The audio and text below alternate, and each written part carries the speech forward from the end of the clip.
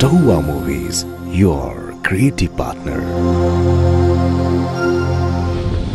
सर्वप्रथम नमस्कार सबैजनालाई।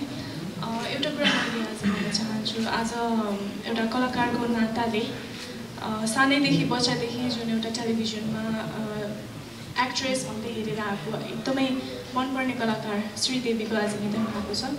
उहाँलाई एकदमै हार्दिक श्रद्धाञ्जली भनेर सम्झिन चाहन्छु एकचोटि।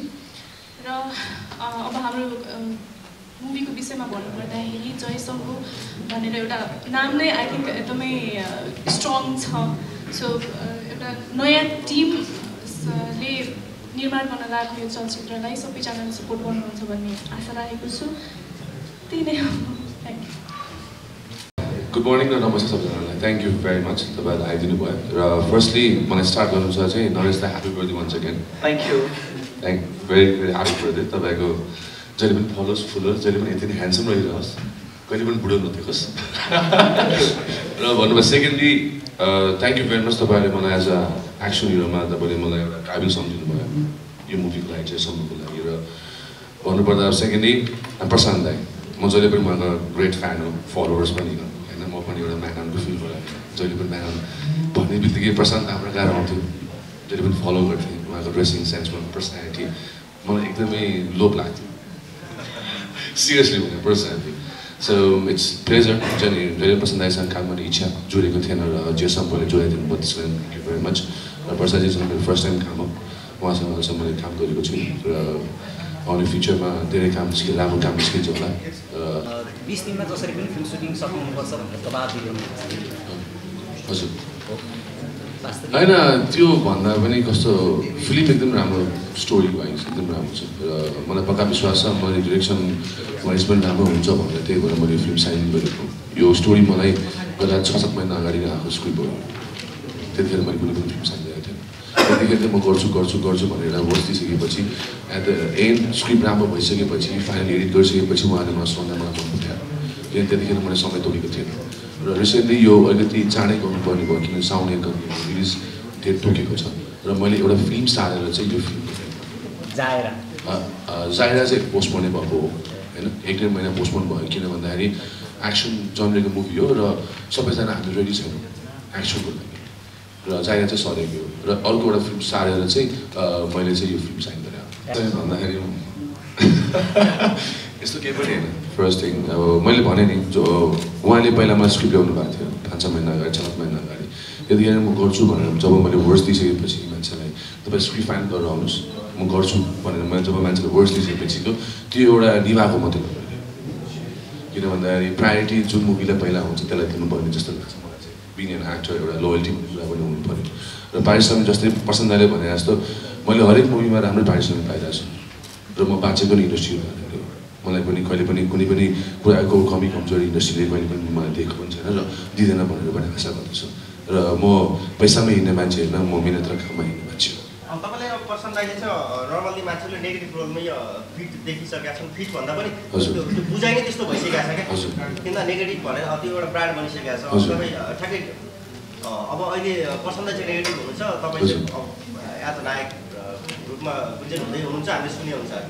भोलि बुझाइमा मान्छे बुझ्ने कन्फ्युजन हुने केही त्यस्तो अब मेरो विचारमा नेगेटिभ पोजिटिभ यो म चाहिँ एउटा कलाकार हो जुन क्यारेक्टर मलाई मनपर्छ।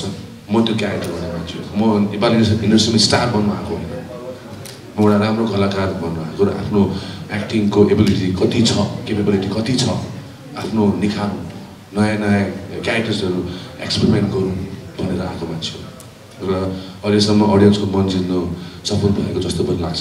र किनभने सबैजनाले मलाई धेरै मेसेजहरू पनि आउँछ। तपाईँ किन एक्सनमा आउनुहुन्न? एक्सनमा किन आउनुहुन्न भनेर चाहिँ मैले एउटा नयाँ चिज जुन रेगुलर गर्ने चिजभन्दा अलिकति ठाउँ छोडेर चाहिँ एक्सन बक्स गरेर चाहिँ आउनु कोसिस मात्रै तपाईँको अब फिल्म रिलिज हुन अझै नर्मल पाइपलाइनमै चार पाँचवटा फिल्म भइसक्यो तपाईँले। फेरि खेलिरहनु भएको छ। एउटा फिल्म एक महिना सारे भन्नुहुन्छ आज खेल्दै हुनुहुन्छ फेरि साइना हुन्छ क्या? हजुर हजुर। हो, यस्तै फिल्म खेल्दै खेल्दै जाँदै जाँदा फेरि फेरि आफू पनि अ, कलाकार कलाकार भनेपछि अलिकति लोभी हुन्छ जस्तो मलाई लाग्छ क्यारेक्टरको।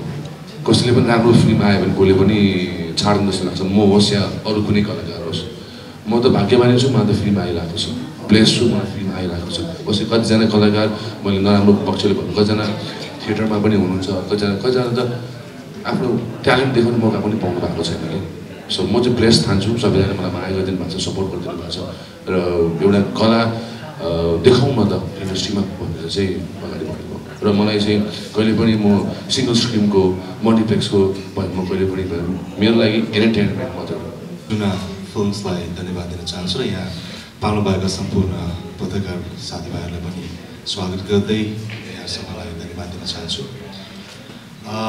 जय शम्भु एउटा चाहिँ नि एक्सन रोमान्टिक मुभीको कन्सेप्टमा छ त्यसमा चाहिँ नि म चाहिँ नेगेटिभ एन्टोगोनिस्टको भूमिका निर्वाह गर्दैछु जसमा अनुप र चाहिँ नि वर्षा लगायत अरू दुईजना हाम्रो नयाँ कलाकारहरू यसमा साथमा हुनुहुन्छ र कन्सेप्ट वाइज यसको स्क्रिप्ट वाइज जुन किसिमको स्टोरी लाइनहरू जुन यसमा क्रिएट गरेको छ त्यसमा एन्टोगोनिस्टलाई अलिकति प्रायोरिटाइज गरेर फोकस गरिरहेको छ।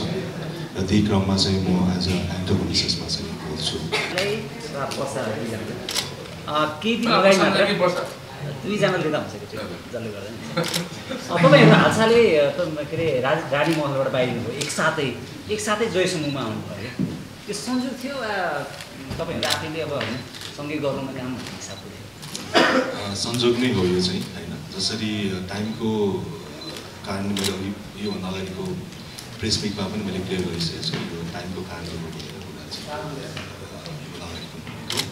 र यसमा हामी जुन पनि संजोग नै भन्नुपर्छ र एउटा जुडेको पनि भन्नुपर्छ एउटा सँगै काम गर्ने।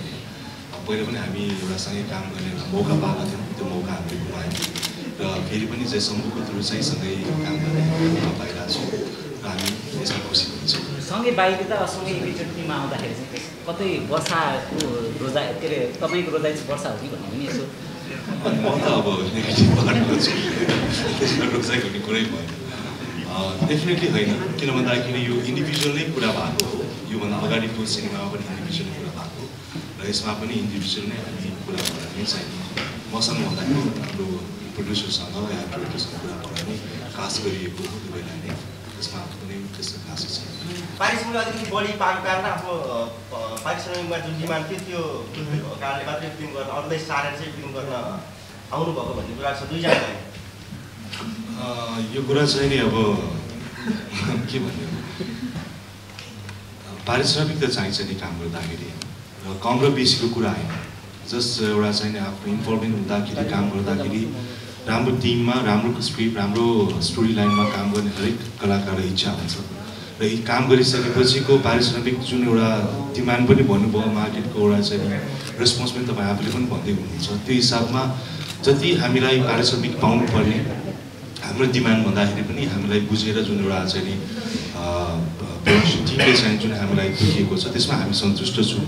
त्यसमा कुनै किसिमको चाहिँ हाम्रो डिमान्ड यति नै हुनुपर्छ भने हाम्रो त्यस्तो खास केही पनि छैन। पर्सनली मेरो चाहिँ केही पनि छैन र सायद अरूको पनि छैन नै होला। जुन एउटा चाहिँ रेस्पेक्ट गरिन्छ त्यो रेस्पेक्ट अनुसार नै हामीले पारिश्रमिक पाएको र त्यसमा हामी खुसी छौँ। मेन त हाम्रो स्क्रिप्ट र स्टोरी लाइनमा हामीलाई मन परेर पनि यो सिनेमा हामीले गरेको। यहाँ उपस्थित सम्पूर्ण पत्रकारहरू महोदय र सम्पूर्ण कला कलाकारहरू र निर्माताहरूले यहाँ हुने सबै उपस्थित सबैले यहाँ धन्यवाद दिन चाहन्छु। यो चाहिँ हामीले एउटा लभ स्टोरी एक्सन मुभी बनाउने कोसिस गरिरहेको छौँ होइन? त्यसले गर्दा तपाईँहरूले एकदम सपोर्ट गर्नुहुन्न भने अनुरोध गर्न चाहन्छु। मैले पहिला पहिला चाहिँ तपाईँहरूको तामाङ फिल्महरू बनाएँ खेलेँ गरेँ। अहिले यो जय शम्भु चाहिँ एउटा लभ एक्सन लभ स्टोरीमा चाहिँ एउटा राम्रो मुभी बनाऊँ भन्ने मैले सोचिरहेको छु।